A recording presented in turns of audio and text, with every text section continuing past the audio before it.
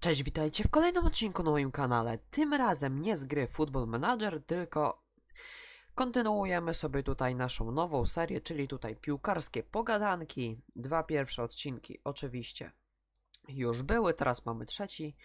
Pierwszy odcinek oczywiście dotyczył e, polskich klubów, klubów w europejskich pucharach, drugi e, samego trenera mm, Sapinto, czyli nowego właśnie tutaj szkoleniowca Legii Warszawa, a trzeci tutaj się natrafiła akurat taka sytuacja, żeby tutaj można powiedzieć skomentować e, powołania trenera Brzęczka. Coś tutaj można powiedzieć, powiedzieć od siebie, co ja o tym sądzę, mm, kogo brakuje, kto może jest niepotrzebnie i tak dalej, i tak dalej.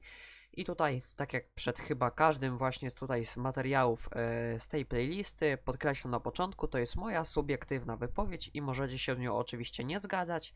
Jeżeli macie tutaj jakieś e, inne typy, innych piłkarzy byście na przykład powołali niż trener Brzęczek, czy też nawet te moje tutaj sugestie, bo od razu tutaj mówię, że z kilkoma powołaniami się bym tutaj troszeczkę kłócił, e, polemizował, no ale oczywiście e, chciałem tutaj powiedzieć, że właśnie możecie to napisać w komentarzu i właśnie tutaj możemy nawet sobie podyskutować a propos właśnie tych powołań, które tutaj są na mecz e, z Włochami, czyli tutaj właśnie mecz e, Ligi Narodów i tutaj można powiedzieć, będzie to walka o utrzymanie się w dywizji A. Oczywiście te mecze będą troszeczkę tak, można powiedzieć, traktowane w gwoli e, testów i powiedzmy, z, można powiedzieć, zbierania tej reprezentacji.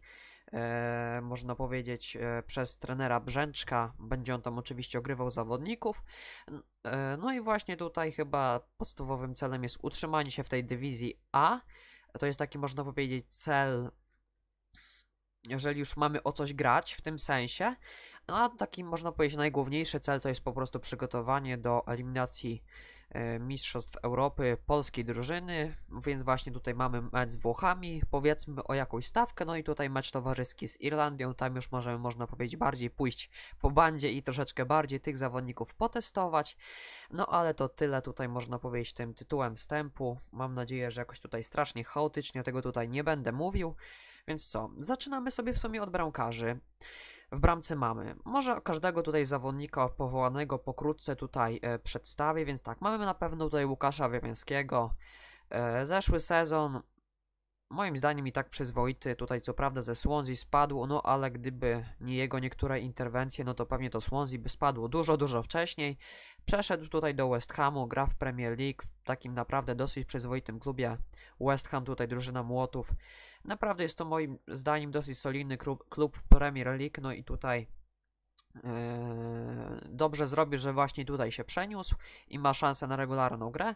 Dalej tutaj mamy, można powiedzieć, Łukasza Skorupskiego i Wojtka Szczęsnego. Zacznę, zacznę sobie tutaj od Wojt, Wojtka Szczęsnego, czyli tutaj Wojcie, wo, właśnie Wojciech Szczęsny i Łukasz Fabiański. Ci dwaj bramkarze moim zdaniem tutaj będą walczyć o fotel, można powiedzieć, lidera mm, w bramce w polskiej reprezentacji. Wojtek Szczęsny, regularnie broniący e, w Juventusie, pierwszy bramkarz, mimo tego, że tutaj został mu ściągnięty konkurent po odejściu Gianluigiego Buffona, czyli tutaj e, Mattia Perin. E, I tak broni jako pierwszy bramkarz tutaj, stawia na niego pewnie trener właśnie tutaj Juventusu, no i właśnie tutaj Łukasz Fabiański. Ci dwaj bramkarze mają tutaj po prostu walczyć o miano tego pierwszego. Moim zdaniem Łukasz Fabiański powinien być, powinien być pierwszym bramkarzem. Wojtek Szczęsny dostawał już bardzo dużo szans. E, to nie to, że ja skreślam jakoś tego bramkarza, no ale tutaj moim osobistym zdaniem powinno to wyglądać tak, że po prostu Łukasz Fabiański powinien w końcu dostać taką prawdziwą szansę. Nie to, że na przykład e, przez eliminację raz gra Fabiański, raz Szczęsny, później wybierzemy, a później koniec końców i tak gra Szczęsny, który albo coś zawodzi, albo na przykład ma jakąś kontuzję, albo ma jakieś zawieszenie, albo się zdarzy coś jeszcze innego. W końcu powinien ten Łukasz Fabiański dostać szansę pierwszego bramkarza, póki można powiedzieć jest jeszcze w pełni formy i w pełni wieku Co prawda jest to, jest to już dosyć do- doświadczony bramkarz, no ale tak jak mówimy, jest to bramkarz w pełni formy, no i moim zdaniem jest to taka szansa dla niego, powinna być to dla niego taka szansa, żeby tutaj się wykazać.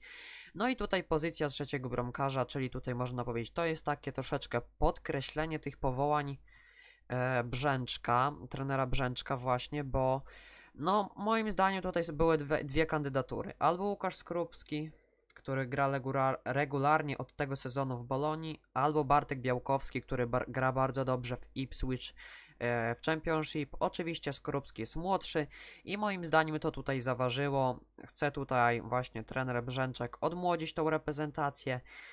No i moim zdaniem dobrze robi. Ja tutaj chyba bym też właśnie powołał bardziej tutaj Skorupskiego niż niż Białkowskiego, ponieważ no to jest zawsze inwestycja w przyszłość. Lepiej takiego tutaj chłopaka sobie trzymać jako tego trzeciego bramkarza, niż takiego Bartka Białkowskiego, który tutaj można powiedzieć pojedzie jeszcze na jedną, dwie imprezy, no i później praktycznie no można powiedzieć jest to już e, temat zamknięty z tym zawodnikiem, a tym bardziej, że właśnie tutaj Skorupski gra e, w ekstraklasie, można powiedzieć włoskiej, w Serie A, a tutaj e, Bartek Białkowski musi grać na drugim poziomie rozgrywkowym, więc jeśli chodzi o bramkarzy to tyle, jeżeli chodzi tutaj o obrońców.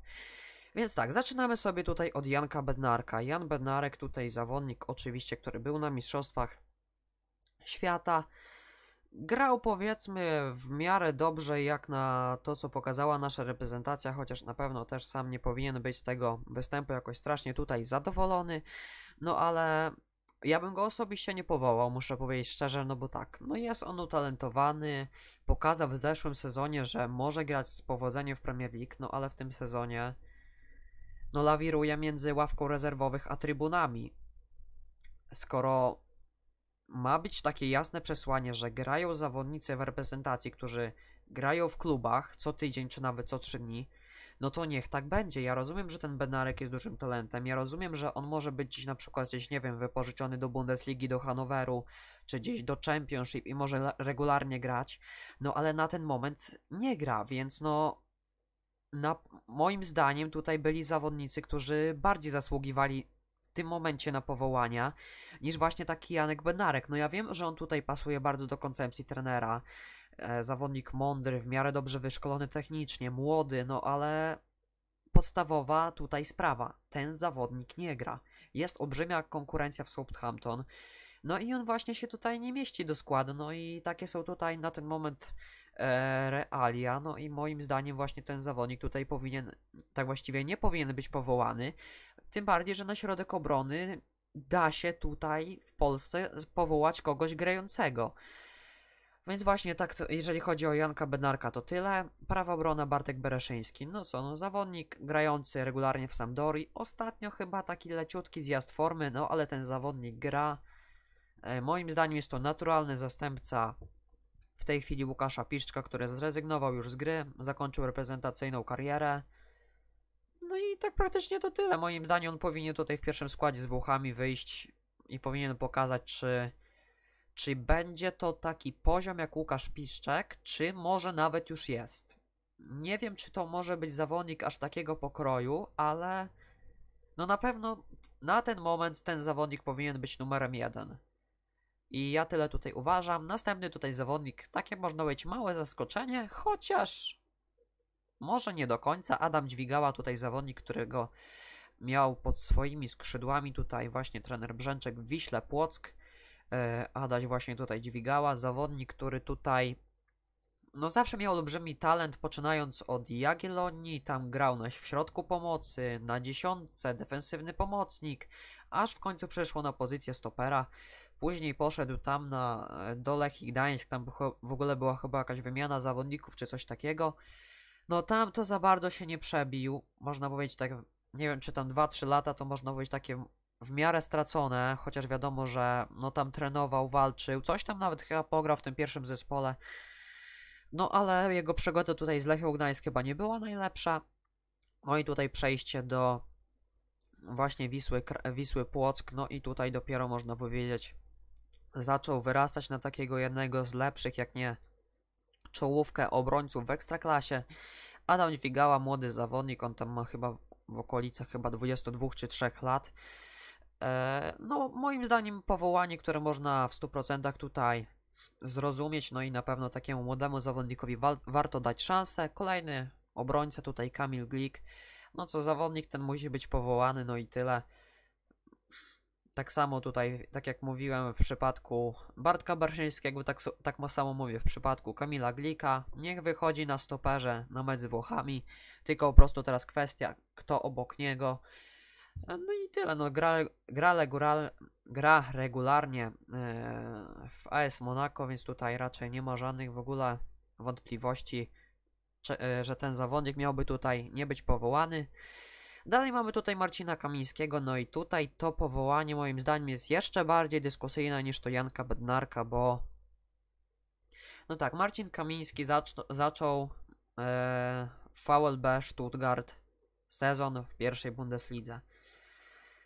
No i nie gra tam, gdzieś tam była chyba jakaś ławka, gdzieś tam było, były chyba trybuny, Stuttgart się tam dosyć mocno wzmocnił. E, tak właściwie to się nie wzmocnił, tylko po prostu się nie osłabił, tam oczywiście paru zawodników dołączyło, no ale jest to taki naprawdę bardzo, bardzo solidny klub e, teraz w Bundeslidze.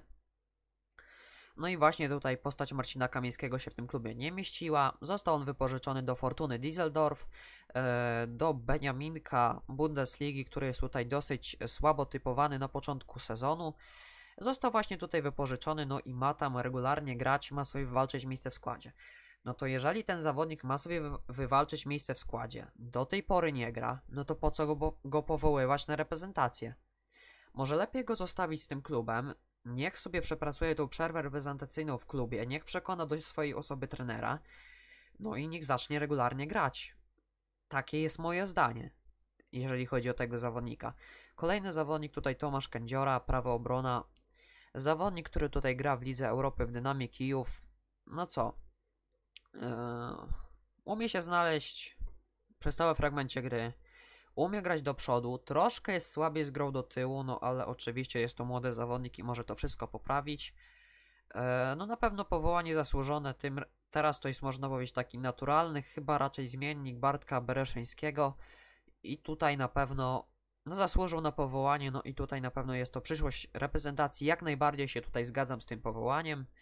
Dalej tutaj zawodnik, który w internecie jest taki troszeczkę, można powiedzieć, mówione jest o tym zawodniku, że po prostu jest tutaj troszeczkę na wyrost. Jak dla mnie? Chyba nie. Rozumiem, że w tamtym sezonie nie grał regularnie w Wiśle Kraków, że jest to zawodnik, który dwa sezony temu jeszcze grał tutaj w GKS-ie Katowice w pierwszej lidze i dopiero od tego sezonu zaczął regularnie grać. No i trzeba powiedzieć, zaczął dobrze grać, no ale no, mamy wakaty na lewej obronie, bo to jest oczywiście wiadome, kiedy ich można powiedzieć nie ma. No to czego mamy takiego dosyć młodego zawodnika? No nie jest to oczywiście 18-latek czy 20-latek, ma tam chyba gdzieś 24-25, tutaj się z wiekiem nie przygotowałem. To czego go nie powołać i nie sprawdzić? Jak dla mnie jest to powołanie bardzo ciekawe, of taki dosyć ofensywny boczny obrońca, no niech dostanie swoją szansę. Więc właśnie tutaj tyle w tym temacie, chcę troszeczkę tutaj może przyspieszyć z tymi moimi tutaj e, dywagacjami z każdym, o każdym z zawodników. Dalej mamy Arka Rece, no i tutaj zawodnik, który moim zdaniem został tak troszeczkę pociągnięty, no nie po znajomości, ale po prostu no, e, trener Brzęczak zna jego możliwości. Sam go tutaj można powiedzieć przerobił na lewego obrońcę, chociaż tam e, w Atalancie Bergamo nawet coś chyba zagrał w pomocy. Co prawda niedużo, ale zagrał. No ale właśnie jeśli chodzi o jego grę, no to jest po prostu no ciężko. Coś tam grał w tych eliminacjach.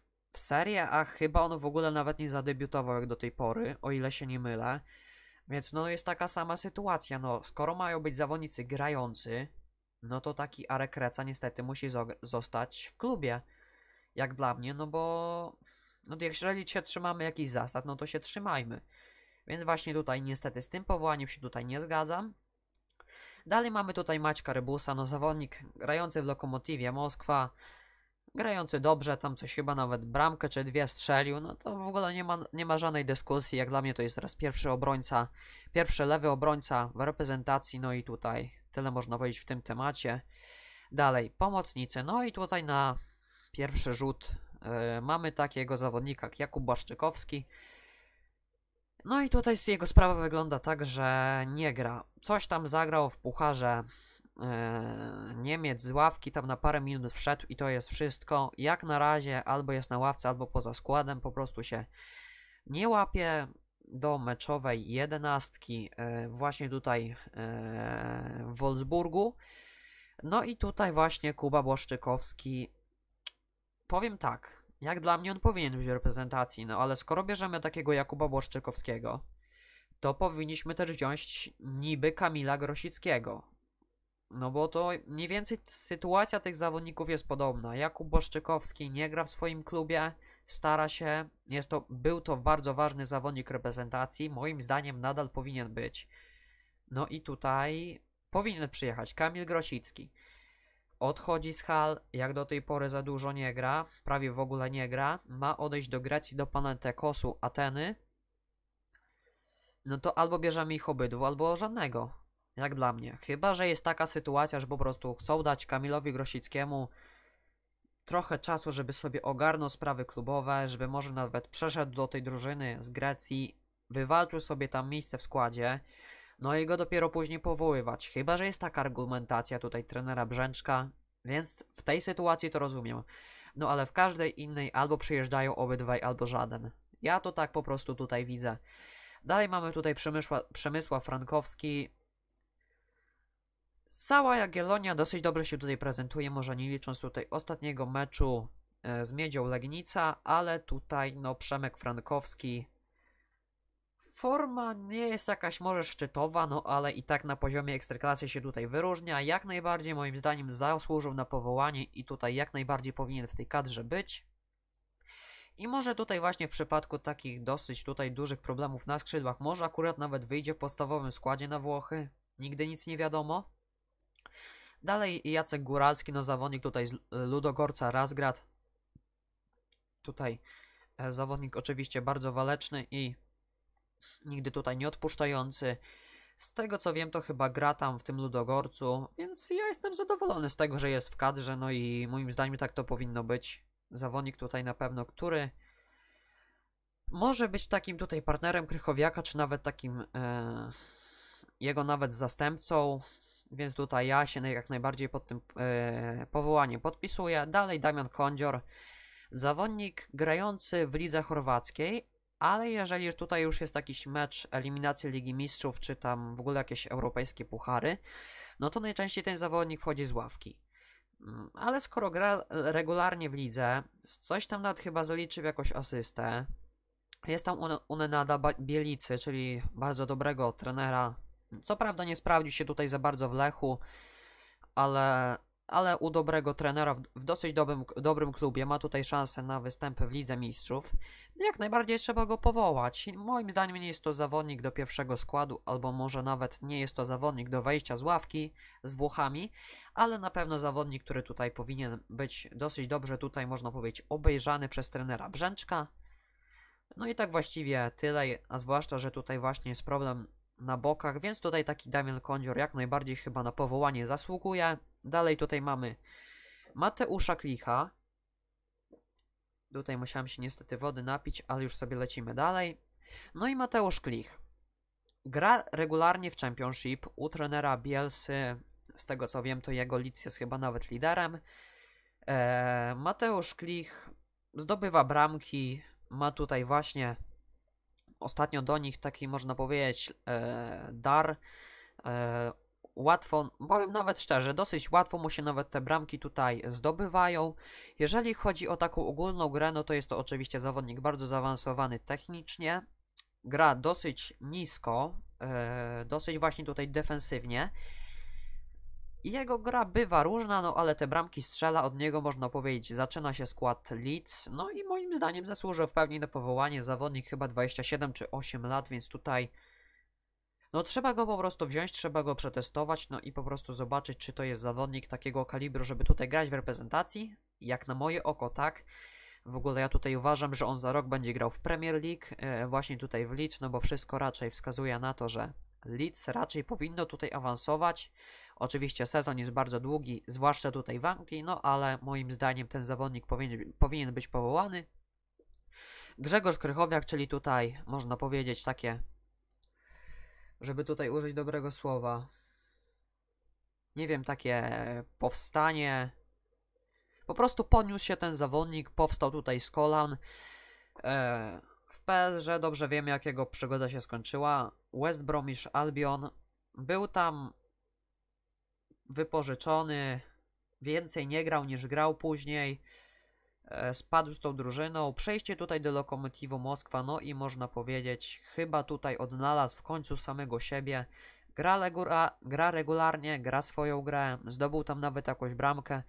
No i tutaj moim zdaniem jest to powołanie w 100% można powiedzieć zasłużone. No i tutaj powinien się Grzesiek Krychowiak teraz skupiać na tym, żeby cały czas tutaj walczyć, walczyć i wracać do tej swojej formy, jaką miał tutaj, można powiedzieć, przed tą przygodą z PSG.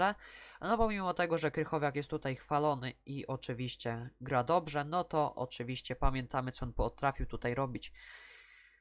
Jeszcze gdy był tutaj w Sewilli, więc tutaj na pewno Grzesiek Krychowiak ma tutaj teraz e, jest po prostu na dobrej drodze, żeby po prostu do do tej swojej dawnej formy powrócić.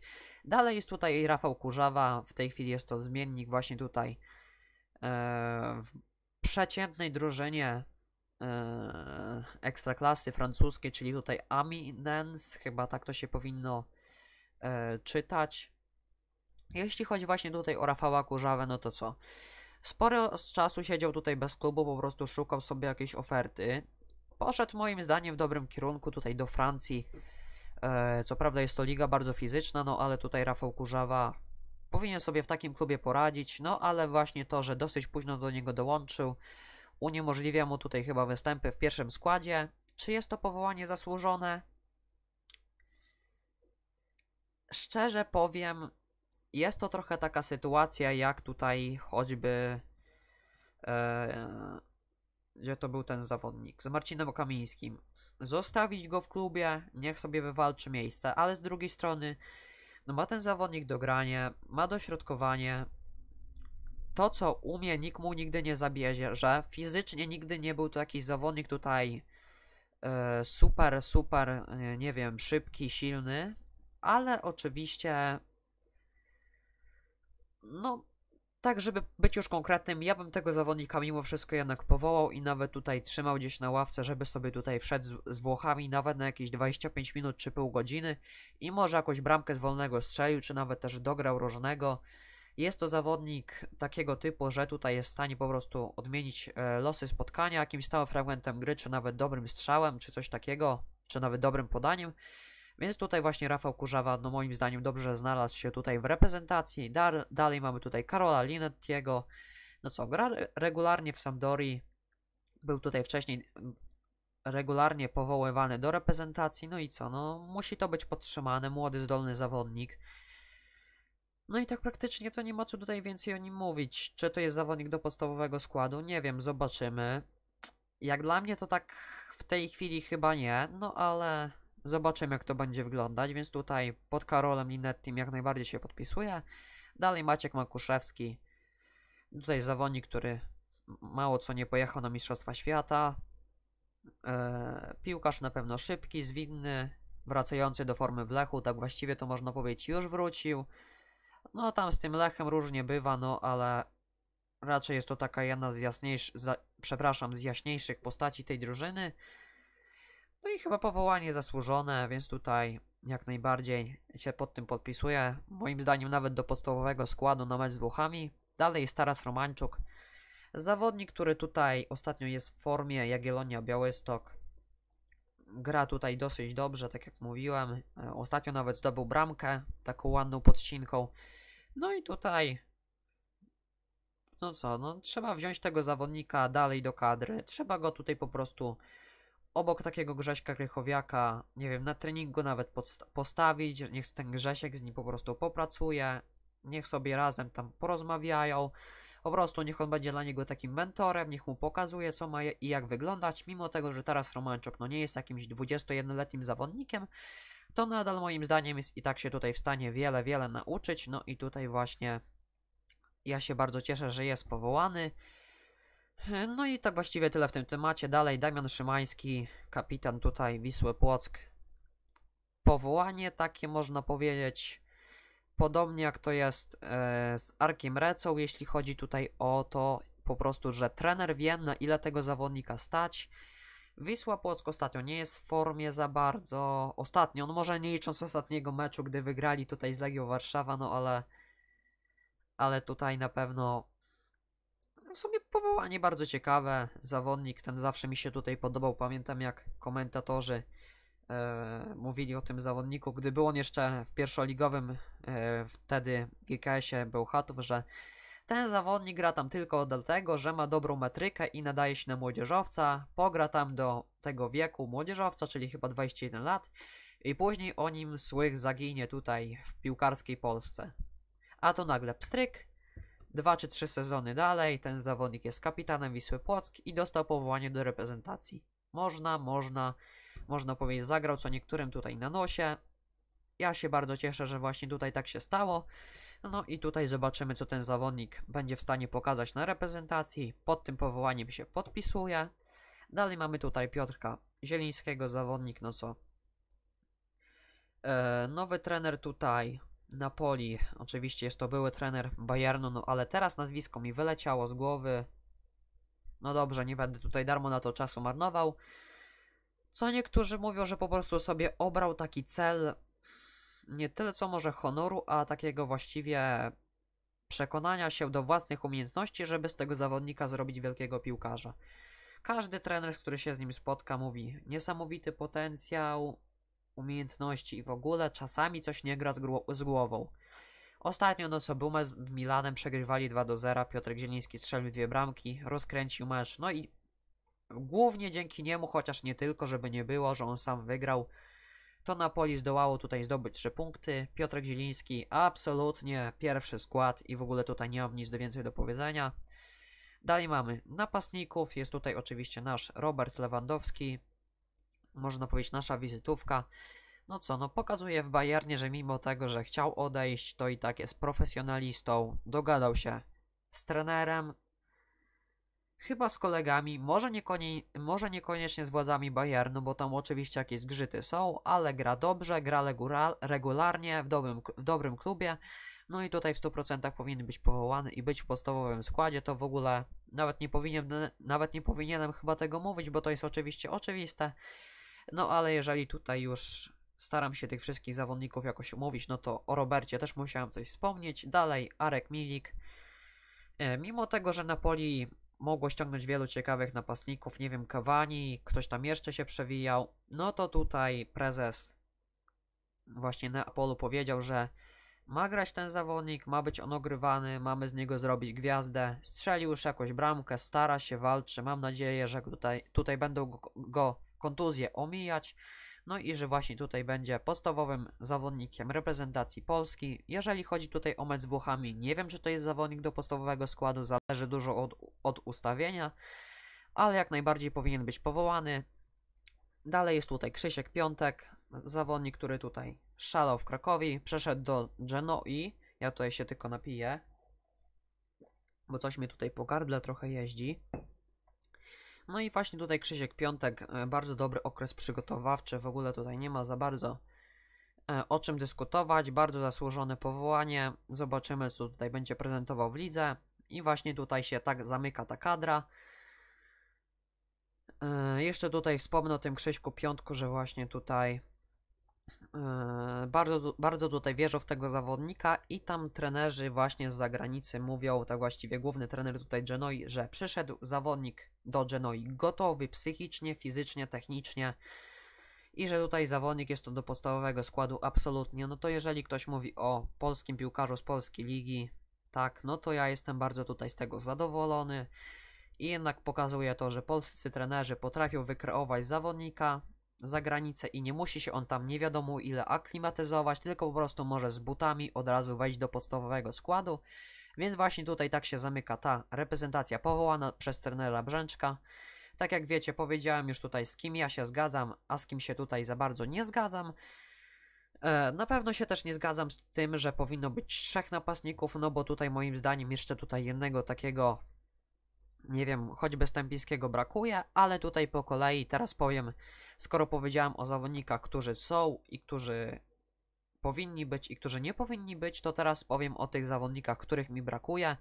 Tutaj sobie e, podświetlam taką notatkę. Wy tego oczywiście tutaj chyba nie widzicie, no ale, ale to w sumie nie jest teraz najważniejsze, więc tak. E, Maciej Wilusz. Zawodnik 30-letni, gra regularnie w Rostowie, który bardzo dobrze tutaj rozpoczął sezon. I co? Lewy, lewy obroń, y, środkowy obrońca mający dobrą lewą nogę, 30 lat, czyli nie jest to żaden starzec. Gra, gra regularnie, Rostów jest trzeci w tabeli po pięciu kolejkach. Czego go nie ma w kadrze? Jak dla mnie jest to zawodnik na pewno do przetestowania, przynajmniej wzięcia go na to zgrupowanie. Ja już nawet nie mówię o szansie gry. Wziąć go po prostu na to zgrupowanie. Czego go nie ma? Nie wiadomo. Dalej, Igor Lecz, Lewczuk. To jest takie troszeczkę moje, można powiedzieć, można go wziąć, ale nie musowo. Gra regularnie w Bordeaux, które najlepiej sezonu nie rozpoczęło, no ale gra tam regularnie. 33 lata, to na pewno za nim nie przemawia i to jest tutaj główny minus. No i... ale gra regularnie. Tak jak tutaj popatrzymy na zawodników powołanych na środek obrony. Bednarek, nie grający. Dźwigała, moim zdaniem jest to tylko i wyłącznie powołanie dla nauki. Kamiński, nie grający. No i jest oczywiście Kamil Glik tutaj, którego się za bardzo podważyć nie da. To czego nie ma właśnie takiego Wilusza? Czego nie ma Lewczuka? Dalej mamy Tiago Cionka. No wiem, że ten zawodnik ma już 32 lata, pewnego poziomu nie przeskoczy. Dobry, solidny obrońca. Kryć, odebrać, wygrać głowę, przepchnąć, absolutnie nie rozgrywać. Tak powiem tutaj pokrótce. No ale gra regularnie w Serie A. Zawodnicy, zawodnicy, trenerzy go tam w miarę chwalą. Nie jest to zawodnik 35-letni. Na Mistrzostwa Europy może chyba spokojnie pojechać. Czego go nie ma? Nie wiadomo. Bartek Salamon. Tutaj takie można powiedzieć to tylko dla zasady chyba, bo sam bym go chyba nie powołał, no ale tak. Bartek Salamon. Gra regularnie w Beniaminku ze Frozilione jako ten centralny środkowy obrońca w formacji tutaj trzech stoperów. Ostatni mecz chyba nawet dosyć dobrze zagrany, gra regularnie. Moim zdaniem, skoro powołujemy już takiego Kamińskiego i Benarka, no to równie dobrze taki Salamon mógłby tutaj być, a nawet chyba lepiej, bo chociaż jest w rytmie meczowym. No i tutaj już wyliczyłem czterech środkowych obrońców, a ja tutaj nawet mam piątego. Jakub Czerwiński. Piast Gliwice gra dobrze, on sam gra dosyć dobrze, gra pewnie. Co prawda, no w Legii było jak było, nie sprawdził się, no ale gra regularnie w, pols- w polskiej ekstraklasie. Zawodnik z tych wszystkich tutaj na młod- najmłodszy, chyba 26 czy 7 lat, już tam dobrze nie wiem, no ale zawodnik na pewno jeszcze, który ma przyszłość. Czego go nie można sprawdzić? Nie wiadomo. Dalej, Artur Jędrzejczyk. To jest moim zdaniem taki zawodnik bardziej tutaj na lewą obronę, na rezerwę. Tak, bo tutaj jest jeszcze jakiś wakat. No mamy Maćka Rybusa, który powinien grać w podstawowym składzie. Mamy tutaj Pietrzaka, który jest do nauki. To czego nie wziąć takiego Artura Jędrzejczyka za takiego Rece? No wiem, że Jędrzejczyk ma już chyba 30 czy 31 lat. No ale jeszcze może spokojnie pograć. Był tutaj, można powiedzieć, wypychany z Legii, dołowany, nie chcieli go tam, chcieli się go pozbyć byle gdzie, aby tylko po prostu tego kontraktu nie płacić. On wszedł w zaparte, pokazał, że może grać, że umie grać. No i co, jest jedną z najlepszych postaci tutaj Legii. Jeżeli kogoś można w ogóle tam wyróżnić, wyróżnić no to chyba tego Jędrzejczyka z tych tutaj reprezentantów powiedzmy, no bo tutaj czy Krzysiek Mączyński, czy Pazdan, no to raczej w najwyższej formie nie są. No i właśnie tutaj tak to wygląda, jeśli chodzi o tego piłkarza. Dalej, Paweł Olkowski. To jest takie, można powiedzieć, troszkę można powiedzieć przyobrazowane, no ale jeżeli mam być szczery, to ten Paweł Olkowski naprawdę prezentuje się dosyć dobrze. Zmarnowany ostatni sezon w Keln w ogóle już tam był poza jakąkolwiek rywalizacją, nawet go za bardzo chyba trener pod uwagę tam nie brał. E, Odszedł z tego Keln, no i przeszedł tutaj do Boltonu, drużyna no przeciętna w Championship, no ale tak. Bolton wygrywa, on tam gra, momentami nawet zachwyca. Czego go tutaj nie wziąć i nie przetestować na taki mecz towarzyski, nawet tylko do gierek treningowych, po prostu wziąć tego zawodnika, pokazać mu, że ktoś go tutaj obserwuje, że ktoś w niego wierzy. No i po prostu dać mu jakąkolwiek szansę, żeby on mógł pokazać, że on jest na poziomie takiego Tomka Kędziory, albo nawet w tym momencie jest jeszcze lepszy i że powinien być w tej kadrze, albo nawet jest, nie wiem, jak, jakąś alternatywą na lewą obronę, albo też nawet na w pewnym sensie skrzydło, jeżeli by tak trzeba było. Nie wiem, po prostu go wziąć, jak to się mówi, żeby go trener po, go po prostu dotknął, zobaczył, jak to on po prostu wygląda w treningu i nawet żeby z nim porozmawiał w cztery oczy, czy, czy coś takiego. Ja bym go osobiście wziął. Nie jest tutaj na zgrupowaniu, więc tutaj właśnie dlatego o tym zawodniku mówię. Dalej mamy tak, mamy tutaj choćby Mariusza Stępińskiego. Mówiłem, że mi tutaj brakuje czwartego napastnika. Mariusz Stępiński, no gra w przeciętnym Kiewo, gra, ale gra w podstawowym składzie, strzelił bramkę Juventusowi. Zapowiada się, że będzie grał lepiej lub gorzej, ale będzie grał, no bo tam za bardzo, no nie ma jakiejś tam gigantycznej konkurencji. No więc go chyba można powołać na to zgrupowanie i po prostu zobaczyć, co ten zawodnik prezentuje. Zawodnik młody, jest duża szansa rozwoju, Włosi coś w nim widzą, u poprzedniego selekcjonera był na kadrze, więcej, dużo, dużo więcej nie grał niż grał, no ale czego go po prostu nie powołać i nie sprawdzić. Dalej mam tutaj choćby takiego, no może to nazwisko akurat nie, nawet tutaj o nim nic nie będę mówił, ale tutaj mam takiego Radosława Murawskiego. Zawodnik grający w Serie B w Palermo. Grający tam regularnie. Mówią o nim, że jest to niesamowity wojownik, polscy wojownicy w Palermo, nawet gdzieś widziałem taki artykuł tutaj w internecie. Jest tam w Serie B, jest nawet spora szansa, że może akurat awansują i będzie w przyszłym sezonie grał w Serie A. Zawodnik młody z potencjałem, który grał bardzo, bardzo dobrze w Ekstraklasie, był nawet kapitanem w wieku chyba 20 lat e, w Piaście Gliwice. No czego go nie wziąć, wziąć na takie zgrupowanie, czego go nie sprawdzić? Nie wiem, ja bym go, go osobiście powołał. No gra w Serie B, no nie jest to najwyższy poziom rozgrywkowy, no ale gra tam regularnie, w dosyć dobrym klubie, który w zeszłym sezonie prawie awansował, gdzieś tam w barażach, gdzieś po prostu się coś trochę potknęli i z tego powodu nie awansowali. Nie wiem, jak dla mnie jest to zawodnik tutaj w 100% do przetestowania. No i tutaj dalej mam takie nazwisko, o którym już było głośno przed mundialem, czyli Adrian Mierzejewski. Zawodnik, który głównie chyba swoją karierę reprezentacyjną gubi tym, że podejmuje e, słabe decyzje, jeśli chodzi tutaj o kluby. Po prostu nie szuka gdzieś tutaj miejsc w Europie, tylko po prostu szuka tam, gdzie ma dobre zarobki, nie wiem, gdzie będzie mu wygodnie, gdzie chce pojechać, no ale głównie raczej się rozbija to o zarobki. Był w Australii, był tam jak, był tam jak na tamtą ligę gwiazdą, nie wiem czy czasem nie najlepszym zawodnikiem. Przeszedł do Chin. No i no liga chińska na pewno jest lepsza od Australii, australijskiej, a ten dalej tam strzela, asystuje, gra. Czego go nie wziąć i nie przetestować?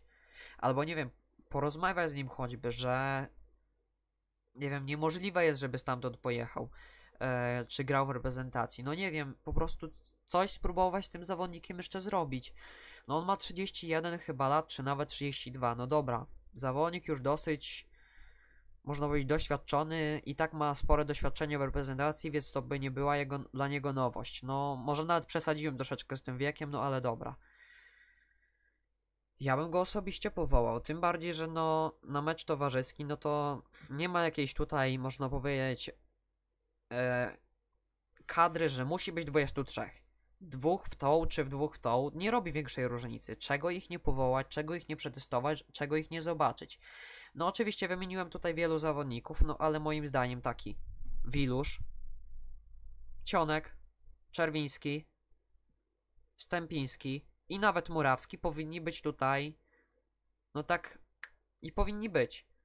Jak dla mnie. No tych kilku zawodników, których tutaj wymieniłem, taki Lewczuk, czy Salamon, czy może nawet Cionek, czy Olkowski, Mierzejewski, no oni są może tak troszeczkę tutaj naciągani, chociaż z perspektywy tego, że po prostu grają. No ale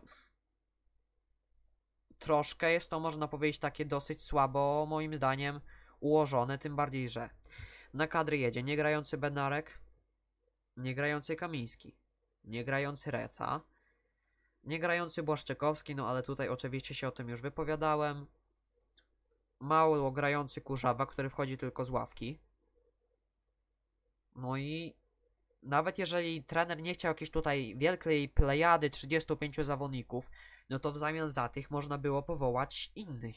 A zwłaszcza tutaj moim zdaniem jest duży problem, jeśli chodzi o środek obrony. No bo mamy tak. Kamil Glik, ok. A dalej obok niego kto ma grać? Niegrający Bednarek albo niegrający Kamiński, albo w ogóle niedoświadczony Dźwigała. Pewnie moim zdaniem zagra tutaj Bednarek, który oczywiście nie grał. Da, a jeżeli da plamę z Włochami i z Irlandią, no może z Irlandią nie, bo to jest tylko towarzyski. D- Da plamę z Włochami, będzie tutaj miał to zapisane. Nie wiem, nawet w jego psychika jakoś to słabo wejdzie. No i zawsze będzie miał takie przeświadczenie, że mógł coś zrobić lepiej, że to, że tamto.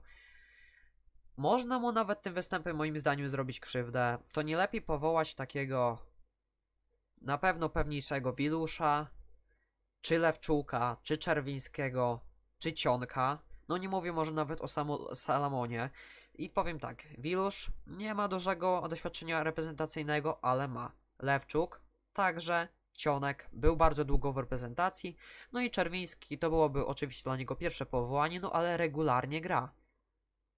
Jak dla mnie jest to akurat troszeczkę tutaj niewytłumaczone, ale tutaj no w sumie, jeżeli tak mam już e, ogólnie tutaj powiedzieć, to ja jestem i tak zadowolony w miarę z tych powołań. Tutaj, tak jak selekcjoner powiedział, to zrobił nie to, że ja tutaj oczywiście neguję te jego wszystkie decyzje, absolutnie nie. Cieszę się, że wielu młodych zawodników dostało szansę, lecz moim zdaniem co niektórzy troszeczkę tak. No, dostali je dosyć dziwnie. Niektórzy po prostu z perspektywy tego, że byli ważni czy są ważni, niektórzy, że po prostu mają jakąś szansę rozwoju. Jak dla mnie to są to takie troszeczkę powołania dosyć dziwnawe, ale na pewno wygląda to troszeczkę tak dosyć średnio. Można to było zrobić tak, jak właśnie zrobił to selekcjoner, można było to zrobić tak, jak troszeczkę ja to przedstawiłem, no ale oczywiście jest to wszystko oczywiście e, do wytłumaczenia, no i na pewno e, będę kibicował tej reprezentacji i oczywiście tutaj pewnie trener Brzęczek dużo lepiej wie ode mnie, jak to powinno wyglądać, no ale właśnie takie są tutaj decyzje. Ja już oczywiście bardzo Wam dziękuję za ten odcinek. Trochę się tutaj rozgadałem, no ale oczywiście to nie jest nic nowego. Oczywiście, jeżeli odcinek się tutaj e, podobał, to łapkujcie, subskrybujcie, trzymajcie się ciepło i cześć.